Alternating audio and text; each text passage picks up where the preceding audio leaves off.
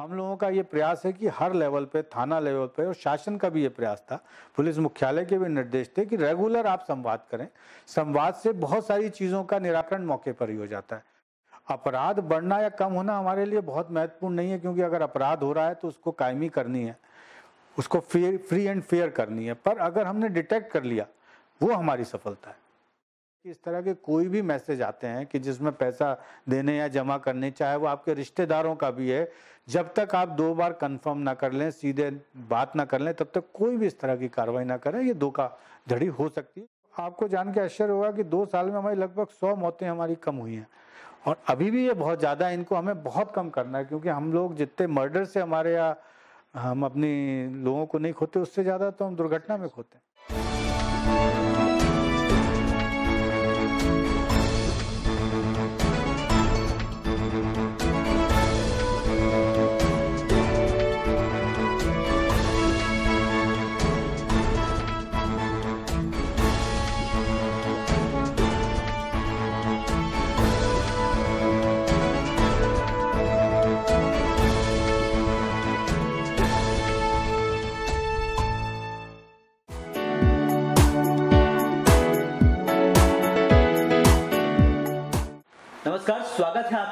Talented India talk show में और आज हमारे साथ हैं एक ऐसी शख्सियत, जिन्होंने पुलिस महकमे में लगातार कई तरह के बदलाव किए हैं।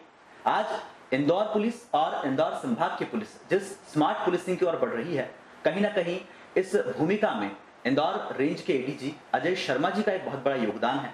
और कहीं ना कहीं जिस तरह से अपराधियों का खौफ जनता के बीच से कम हुआ है, लगातार लोगों के बीच बढ़ती परेशानियों को पुलिस ने दूर करने की कोशिश की है, ऐसे में अजय शर्मा जी इंदौर रेंज के एडीजी जो हैं इन्होंने कहीं ना कहीं पुलिस महकमे को एक ताकत प्रदान की है और साथ ही साथ लोगों के बीच पुलिस का विश्वास कायम हो सके इसके लिए लगातार पहल की है। सर बहुत बहुत स्वागत है बिल्कुल धन्यवाद।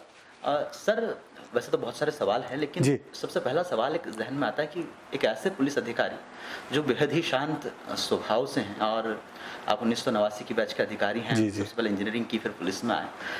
कैसे शुरुआत हुई सर और इतने सौम्य छवि के साथ पुलिस जैसे विभाग में काम करना कितना चुनौतीपूर्ण रहा?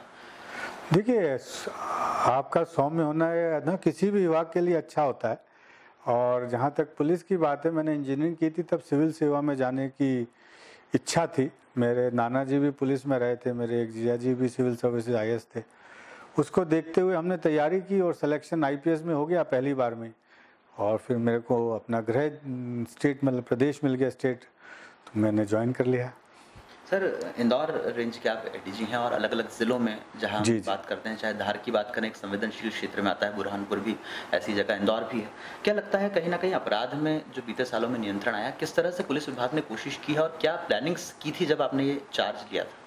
देखिए, हमारे संभाग में आठ ज़िले आते हैं, जिसमें से एक इंदौर अपने आप में एक बहुत ही चुनौतीपूर्ण जिला है, क्योंकि सबसे बड़ा शहर है, महानगर है मध्य प्रदेश का। यहाँ अपराध की दर भी ज़्यादा है, क्योंकि जनसंख्या भी सबसे ज़्यादा है। इसके अलावा हमारे यहाँ निमाड़ का एक अलग कल्चर है, अलग तरीका है। मालवा का एक अलग कल्चर है, जो धार का है। झाबुआ अलीराजपुर का एक अलग तरीका है, वहाँ अपराधों का भी और सभी चीज़ों का। सब जगह का एक, चूँकि कल्चर अलग है तो हमारे यहाँ डाइवर्सिटी बहुत है। हर तरह के अपराध यहाँ होते हैं, आर्थिक अपराध भी यहाँ बहुत हैं। संपन्नता ज़्यादा, इसलिए वाइट कॉलर क्राइम संगठित अपराध भी यहाँ काफ़ी होते हैं। तो जब भी हम यहाँ आए थे, इसके अलावा ट्रैफ़िक कानून व्यवस्था की बहुत ज़्यादा चुनौतियाँ यहाँ रोज़ रहती हैं, क्योंकि यहाँ बहुत विशिष्ट व्यक्तियों का आना जाना भी लगभग रोज़ रहता है। तो जब हम लोग आए थे, हमारी टीम ने यही निश्चित किया था कि सबसे पहले अपराधों को नियंत्रण करने के लिए सबसे बड़ी बड़ी इसमें भूमिका रहती है, अगर हम अपराधों को पकड़ लें। यदि जो पुराना अपराध करने वाले ने, अगर हम उसकी लूट है, चोरी है, नकबजनी है, इसको हम आरोपी को गिरफ़्तार करके सही साक्ष्य रख के न्यायालय के सामने रखें और न्यायमानी न्यायालय से सजा दिला दे तो इसका प्रभाव सबसे ज़्यादा पड़ता है। तो हमारा पूरा प्रयास यही था कि अपराध होने के बाद उसकी पता रसी की गई, उसका डिटेक्शन किया जाए। अपराध बढ़ना या कम होना हमारे लिए बहुत महत्वपूर्ण नहीं है, क्योंकि अगर अपराध हो रहा है तो उसको कायमी करनी है, उसको फ्री फ्री एंड फेयर करनी है। पर अगर हमने डिटेक्ट कर लिया, वो हमारी सफलता है। सर, कहीं ना कहीं संवाद एक महत्वपूर्ण पहल होती है, कड़ी होती है। पुलिस विभाग में इस तरह का संवाद हो सके, पुलिस के बीच में लगातार जो है, कहीं ना कहीं अधिकारियों से जो समन्वय है, वो हो सके। इसके लिए किस तरह के कार्यक्रम बीते वर्षों में चलाए गए हैं? देखिए, इसमें काफ़ी लंबे समय से संवाद हो रहे हैं। कम्युनिटी पुलिसिंग जिसको कहते हैं, वो चल रही है। हमारी ग्राम एवं नगर रक्षा समितियाँ बहुत सक्रिय हैं। इंदौर में तो लगभग हर त्यौहार में आपको देखा होगा करीब हज़ारों की संख्या में हमारे जो स्वयं सेवक है वॉल्टियर्स हैं, रक्षा समिति के, वो स्वयं आके व्यवस्था बनाए रखने में सहयोग करते हैं, आपके भी साथी होंगे और बहुत अच्छा कॉपरेशन है। इसके अलावा जैसे मैंने आपको बताया, हर जगह की समस्याएँ अलग हैं तो हर जगह अलग अलग तरीके से हमने जनसंवाद किया है। जैसे झाबू वाली राजपुर में या जो हमारे आदिवासी ब्लॉक हैं ट्राइबल ब्लॉक हैं इसमें बच्चियों के भागने की घटनाएँ बहुत होती हैं, जो कम उम्र की लड़कियाँ शादी करने के लिए चली जाती हैं। तो उनके लिए एक जन जागरण कार्यक्रम विशेषकर झाबुआ और आसपास की जगहों पर चलाया गया। निमाड़ की अलग समस्याएँ पर हम लोगों का ये प्रयास है कि हर लेवल पे, थाना लेवल पे और शासन का भी ये प्रयास था। पुलिस मुख्यालय के भी निर्देश थे कि रेगुलर आप संवाद करें। संवाद से बहुत सारी चीज़ों का निराकरण मौके पर ही हो जाता है। अभी चुनाव के पहले भी हमारे अधिकारी हर जगह गए, हर बूथ तक गए, गाँव तक गए, लोगों से बातचीत की। उसका बड़ा पॉजिटिव रिज़ल्ट आया इम्पैक्ट पड़ा है लोगों से बातचीत हुई, बहुत समस्याएँ पता लगी। तो आपने देखा होगा हमारे चुनाव में कहीं भी कोई छोटी से छोटी घटना भी नहीं हुई है, पूरे संभाग में। सर, अपराध की, जैसे आपने बात की साइबर क्राइम और बहुत तरह के अपराध हैं। इंदौर में एक नई चीज़ थोड़ा सा देखने में आया, बीते कुछ दिनों से खबरें लगातार इस तरह की आ भी रही इंदौर के एरोड्रम क्षेत्र में एक व्यापारी जो पेट्रोल पंप चलाते हैं, उनके पास फ़ोन जाता है कि मैं एसपी बात कर रहा हूँ और मुझे मेरे खाते में पैसा ट्रांसफ़र कीजिए। सेम इसी तरह के इंदौर के दूसरे क्षेत्र में भी फ़ोन व्यापारियों को जाते हैं। क्या मानते हैं कहीं ना कहीं अपराधियों में बेखौफ होकर जो लूट या इस तरह के प्रयास किए जाने की क्षमता बढ़ी है? अपराधियों में खौफ कम हुआ है पुलिस का? नहीं, ये खौफ का नहीं है। ये आदमी की मैं आपसे कहूँगा कि सीधे फन का फ़ायदा उठा के ये जो पेशेवर वाइट कॉलर क्रिमिनल हैं या संगठित अपराध हैं, ये करते हैं। ये मध्य प्रदेश के नहीं है। सामान्यतः जैसे ओ फ्रॉड होता है, आपके ओटीपी पूछ के आपका बैंक वाले बन के जो करते हैं झार, झारखंड से चलता है। ये जो अपराध आपने बताया राजस्थान से चला है। यहाँ नहीं, कई जगहों पर उन्होंने इस तरह की कोशिशें की हैं। एक आध में सफल हुए हैं, बाकियों में ये सफल नहीं हो पाए। इनका हमने पूरा पता लगा लिया। शीघ्र ही हमारी टीम गई हुई है इनको पकड़ने। इनके हमने सब, अब जैसी पकड़ में आएँगे तो इनको भी सजा दिलाएँगे। और ये, एक इनका मध्य प्रदेश नहीं, छत्तीसगढ़, बाकी प्रदेशों में भी करते हैं। नेट से देख के नाम ढूंढ लेते हैं और फिर ऐसे बोलते हैं और बात करने की बात करते हैं और बात करने के बाद कहते हैं कि बहुत प्रॉब्लम हो गई मेडिकल है और रिक्वेस्ट करते हैं। तो कई बार आदमी सज्जनता में दे देता है, पर यहाँ पे जिन्होंने जब चेक किया तो पता चला है झूठे हैं। तब से हमने सबसे निवेदन भी किया हुआ है कि कभी भी इस तरह से कोई चीज़ ना करें, किसी के लिए भी। ना ही सिर्फ़ पुलिस, बल्कि बाकी सर्विसेज़ आपके परिचित के नाम से, आपके फेसबुक में आपके रिश्तेदार ढूंढ लेते हैं, उनके नाम से आपको फ़ोन करेंगे या सूफिंग करके मोबाइल पे ऐसा लगेगा कि आपके दोस्त का मैसेज आया जबकि उसने नहीं किया होगा। कंप्यूटर के माध्यम से मैसेज बचाएँगे। तो मेरा ये सुझाव है, मेरा सबसे निवेदन भी है कि इस तरह के कोई भी मैसेज आते हैं कि जिसमें पैसा देने या जमा करने, चाहे वो आपके रिश्तेदारों का भी है, जब तक आप दो बार कंफर्म ना कर लें, सीधे बात ना कर लें, तब तक कोई भी इस तरह की कार्रवाई ना करें। ये धोखा धड़ी हो सकती है जो बड़े पैमाने पर सभी पूरे वर्ल्ड में की जा रही है। सर एक इंदौर पुलिस का जब भी नाम आता है तो कई अच्छी पहल के लिए इंदौर पुलिस को जाना जाता है। मैंने जब अध्ययन किया देखा। शहर में पुलिस ने चाहे आत्महत्या की घटनाएँ हों चाहे डिप्रेशन में गए जो बच्चे हैं जो पढ़ते हैं उनकी काउंसलिंग करने की बात हो इस तरह के लगातार कार्यक्रम चलाए। क्या लगता है समाज में जिस तरह का उत्साह आ रहा है कैसे इसे रोका जा सकता है और स्मार्ट पुलिस की भूमिका जो है वो किस तरह से इस पूरे काम में जो है महत्वपूर्ण हो सकती है? देखिए चूँकि समाज बदल रहा है तरीके जीने के तरीके बदल रहे हैं नौकरी के लिए लोग दूर दूर तक आते हैं पढ़ाई के लिए भी आते हैं सिंगल फैमिली हो गई, न्यूक्लियर फैमिली हो गई ज्वाइंट फैमिली हट गई है। तो कई बार आदमी की जो समस्याएँ, अवसाद है, वो किसको बताएँ? बताने वाला कोई नहीं रहता। इससे और वो डिप्रेशन में जाने लगता है। तो हमारे डीआईजी साहब ने पहले संजीवनी शुरू की थी जबलपुर में, उसी के तर्ज पे यहाँ पे भी इंदौर पुलिस ने शुरू की है, जिसके बड़े अच्छे रिज़ल्ट आए। इसके अलावा, मैंने आपको जैसे बताया, रक्षा समिति काउंसलिंग हमारा जो सिटीजन कॉप है बहुत अफेक्टिव हुए हैं कई मामलों में। बाकी जैसे अपराधों की पता रसी के बाद हमने ट्रैफ़िक में देखा था कि हमारे यहाँ लगभग साढ़े चार सौ मौतें सिर्फ़ एक्सीडेंट में होती थी, दुर्घटना में होती थी। तो जब मैं आया था तो हमने इसका स्टडी करा के ब्लैक स्पॉट लगभग अस्सी चिन्हित किए थे, जहाँ पे तीन से या चार से ज़्यादा बड़ी दुर्घटनाएँ गंभीर हुई थी। उनको स्टडी करके पाया कि ट्रैफ़िक इंजीनियरिंग की बेसिक मिस्टेक्स के कारण कुछ जगह प्रॉब्लम है, कुछ सुधार करने से कमी आ सकती है। तो आपको जान के आश्चर्य होगा कि दो साल में हमारी लगभग सौ मौतें हमारी कम हुई हैं। और अभी भी ये बहुत ज़्यादा इनको हमें बहुत कम करना है, क्योंकि हम लोग जितने मर्डर से हमारे या हम अपनी लोगों को नहीं खोते, उससे ज़्यादा तो हम दुर्घटना में खोते हैं। सर, एक बात हमेशा निकल कर आती है और ये आम आदमी की शिकायत भी होती है कि जब तक बड़े अधिकारी, अपने मातहत अधिकारियों को निर्देश नहीं देते हैं, पुलिस विभाग में कार्रवाइयाँ नहीं होती हैं। कई लोग ऐसे हैं जो रोज़ाना थानों के चक्कर लगाते हैं, लेकिन कायमी नहीं होती है, शिकायतें सुनी तक नहीं जाती हैं।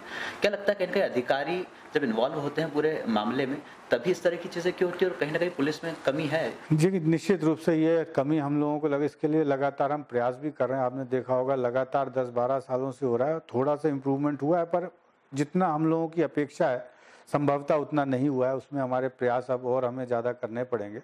उसमें कई कारण हैं। क्या होता है कि दो तरह के अपराध हैं, कॉग्निजेबल मतलब संज्ञेय, और नॉन कॉग्निजेबल असंज्ञेय। संज्ञेय अपराधों में ही पुलिस एफआईआर लिख सकती है। बाकी में कदम चेक काट के उनको न्यायालय में जाने की सलाह दी जाती है, क्योंकि वो कानून है हमारे यहाँ का। पर हमारे लोगों के साथ दिक्कत है, ये समझाते नहीं है लोगों को कि, भाई आपको अब आगे क्या करना है?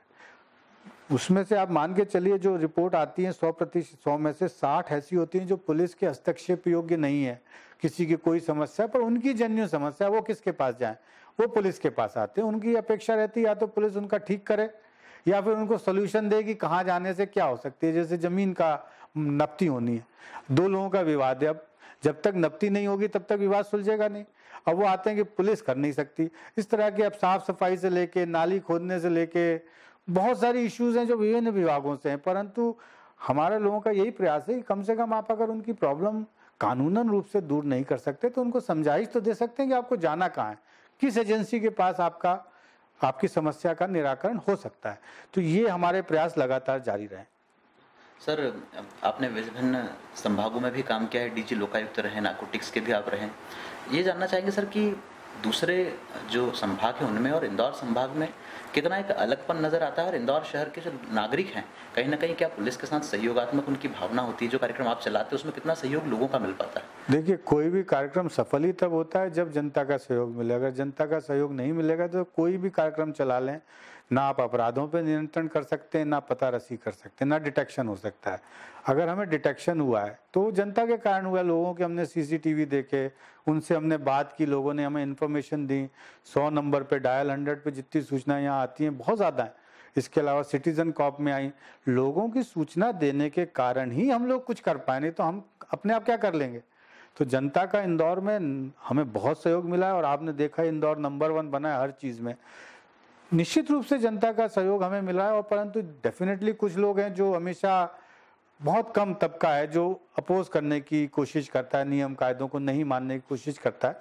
पर इंदौर में हमें बड़ा खुशी भी होती है और सौभाग्य भी है कि यहाँ आम जनता कानून मानने के लिए प्रेरित रहती है, मानना चाहती है और नियम से चलना चाहती है, जिसका रिज़ल्ट आपका नंबर वन इंदौर सफ़ाई में नहीं तो नहीं आ सकता था।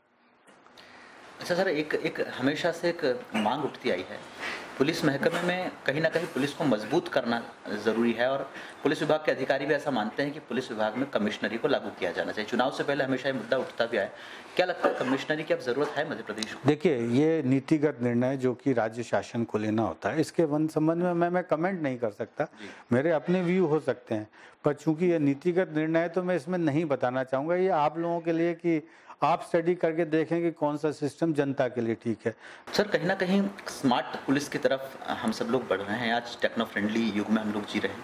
पुलिस विभाग में और जो हमारे चाहे निचले स्तर के आरक्षक स्तर के अधिकारी हों या इंस्पेक्टर स्तर के अधिकारी किस तरह से प्रयास किया जा रहा है स्मार्ट पुलिसिंग की तरफ़ कैसे हम लोग कदम बढ़ा रहे हैं? देखिए ये बड़ा ग्रेजुअल प्रोसेस होता है क्योंकि एक दिन में ये चीज़ें नहीं बदलती अब जब साइंस और टेक्नोलॉजी आ गई है तकनीक का नया युग आ गया नए नए इक्विपमेंट कंप्यूटर इंटरनेट इनके कारण हमको भी अद्यतन करना चाहिए और कर रहे हैं। हम लोग ट्रेनिंग भी दे रहे हैं। साइबर के संबंध में C C T N S पे हम लगभग आ गए। हमारे थाने के हर व्यक्ति को हमने कंप्यूटर पे काम करना या तो सिखा दिया है या प्रोसेस में है। इसके अलावा तकनीकी के जो नए तरीके हैं, उनको हम उपयोग कर रहे हैं। जीपीएस यूज़ कर रहे हैं। लोकेशन पता करके C C T N S में भी हमने अपना भी एक सॉफ्टवेयर बनाया है। उसमें भी हम यूज़ कर रहे हैं। तो हर जगह तकनीक का उपयोग कर रहे हैं और जो हमारी सफलताएँ मिल रही हैं मोस्टली हमें तकनीक से मिल रही हैं। अब सीसीटीवी का हम बड़ा बड़े पैमाने पर एक्सपेंशन कर रहे हैं। उससे हमें एक जगह से बैठे ना सिर्फ़ चीज़ें मिलती हैं, बल्कि एविडेंस भी मिलते हैं। तो ये बहुत अपने आप में महत्वपूर्ण है। इसके अलावा जो प्राइवेट सीसीटीवी है, उनका भी हम उपयोग कर रहे हैं। उनका भी स्टडी करके लिंक करके हम कर रहे हैं ऐप्स बन गए, बहुत सारी चीज़ें अब पासपोर्ट में वेरिफिकेशन में हम बहुत जल्दी काम कर रहे हैं। तो अब जो डिजिटल युग आ रहा है, इसका हमें बहुत पॉजिटिव फ़ायदा भी मिला है, उसका भी हमें और लेना है। तो हम उसके लिए भी लगातार ट्रेनिंग दे रहे हैं लोगों को। सर चलते चलते बस यही जानना चाहेंगे कि जो हमारा पोर्टल है टैलेंटेड इंडिया इसके माध्यम से देश के लाखों युवा आप जैसी शख्सियतों से मिलते हैं। कई युवा ऐसे भी हैं जो पुलिस विभाग में आकर अपना करियर भी बनाना चाहते हैं, देश सेवा भी करना चाहते हैं। मैं चाहूँगा देश के ऐसे युवाओं के लिए क्या संदेश रहेगा? देखिए, पुलिस सेवा एक बड़ी चुनौतीपूर्ण सेवा है, जिसको आपको बहुत संतुष्ट रहते हैं आप, क्योंकि आप बहुत काम अपने चाहे अनुसार जनता की सेवा के लिए कर सकते हैं, उनके दुख दर्द दूर कर सकते हैं। जो अपने आप में एक बहुत महत्वपूर्ण चीज़ है, अगर आप कुछ लोगों के आँसू पोष सकें इस मामले में नोबल कॉज है। मेहनत बहुत है, चुनौतियाँ बहुत हैं, समय की बहुत इसमें कोई सीमा नहीं है, मेहनत करनी पड़ती है, पर उसके बाद भी जब रिज़ल्ट आता है तो मुझे तो बहुत अच्छा लगा। है हालाँकि अब मैं बहुत सीनियर पोजीशन पे पहुँच गया हूँ, पर जब मैं अपने कटिंग लेवल पे था, डिस्ट्रिक्ट लेवल पे, तब भी बहुत अच्छा लगता था अगर आप हज़ार लोगों की मदद भी कर सके जेन्यून गरीबों की मदद कर सके। तो ये थे एडीजी इंदौर रेंज अजय शर्मा जी, जिन्होंने बात रखी पुलिस महकमे के बारे में। कहीं ना कहीं जिस तरह से पुलिस के कदम अब स्मार्ट पुलिसिंग की ओर बढ़ रहे हैं, लोगों के बीच से अपने क्षेत्र से अपराध खत्म हो रहे हैं और कहीं ना कहीं प्रदेश में एक जो वातावरण बनाया है पुलिस ने, उस वातावरण को बनाने में जिस तरह से पुलिस के बड़े अधिकारियों की भूमिका रही है, निश्चित रूप से हम ये कामना कर सकते हैं कि आने वाले दिनों में अपराध के क्षेत्र में मध्य प्रदेश का ग्राफ निश्चित रूप से कम आएगा और ऐसे अधिकारियों की बदौलत पुलिस विभाग भी और प्रदेश के आम नागरिक भी हमेशा एक बेहतर तरीके से जीवन को आगे बढ़ाते हुए तरक्की की राह पर अग्रसर हो सकेंगे। हमारी इन्हीं शुभकामनाओं के साथ अगले हफ़्ते फिर नई शक्ति के साथ हम रूबरू होंगे। तब तक के लिए नमस्कार। नमस्कार।